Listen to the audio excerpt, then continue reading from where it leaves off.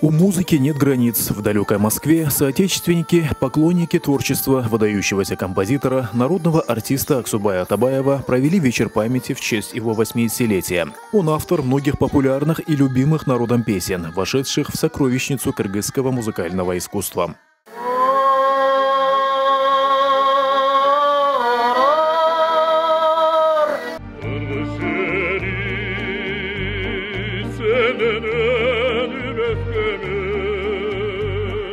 Если быть точнее, то круглая дата исполняется в следующем году, ведь Аксубай Атабаев родился 22 декабря 43 года в Аксуйском районе Исыкульской области. Пик его творчества пришелся на 60-е годы прошлого столетия. Его песни каждый день звучат на радио и телевидении. Без его хитов не обходится ни одно застолье.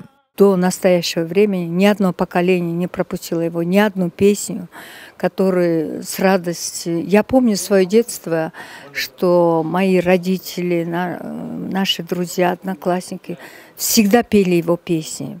тамчыдай денедеги сүтүң менен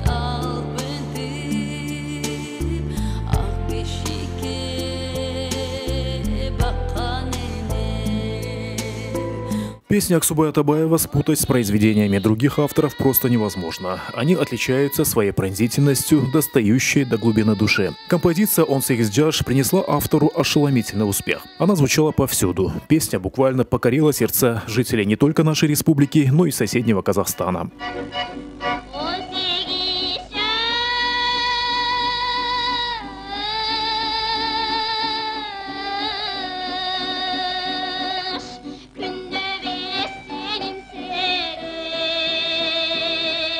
Молодое поколение поет, э, да, песни хорошие, классные, но молодое поколение не знает, кто автор, да.